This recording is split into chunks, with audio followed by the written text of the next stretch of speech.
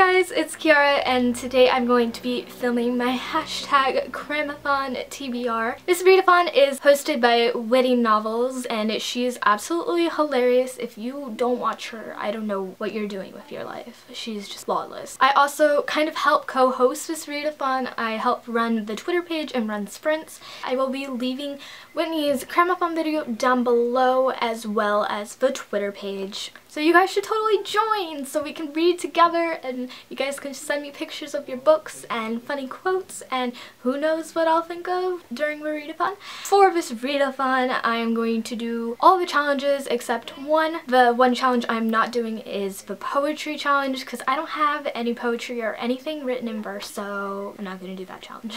Two of the books I will be reading in this readathon are Geronimo Stilton books. This one is Shipwreck on the Pirate Islands and this one is called Attack of the Bandit Cat. Geronimo Stilton was my favorite books to read as a kid so I decided just to pick up these two that I have and reread them. The theme of this readathon is just to read short books so I got two short books right here.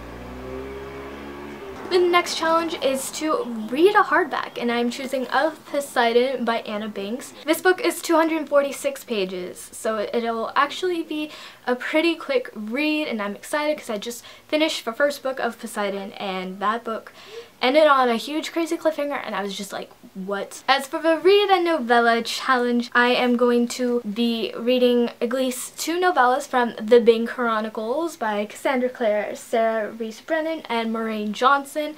I don't know which ones I'm going to read from this yet because I have read a few so far. I'll just choose and see what I feel like reading and maybe I'll read more than two. We shall see. As for the graphic novel challenge, I'm going to be reading Locke and Key. I don't know if you guys can see this.